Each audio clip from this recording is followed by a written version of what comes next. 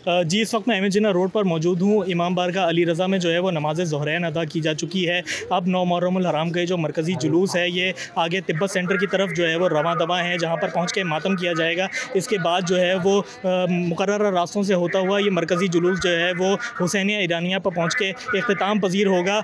जुलूस में जो है वो लाखों ज़ायरीन की शिरकत के लिए सहूलियात के लिए जो है वो, आप ये मेरे अकब में जिस तरह आप लोग देख सकते हैं कि इंफॉर्मेशन डेस्क भी कायम की गई है। इसके अलावा जो है वो सभी लोगों का भी जो है बड़े पैमाने पर इनका किया गया है ज़ायरीन की जो है वो सहूलियात के लिए। इसके अलावा सिक्योरिटी के हवाले से हम आपको बताते चलें कि कानून नाफिज करने वाले इदारों की जो है वो बड़ी तादाद यहाँ पर मौजूद है ताकि किसी भी नाखुशगवार वाक़े से जो है वो बचा जा सके।